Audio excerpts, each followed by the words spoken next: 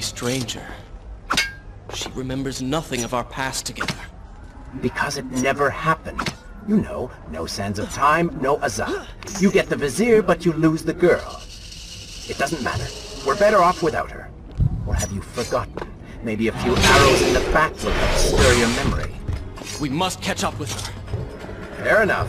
Though I suspect you and I want very different things from the girl.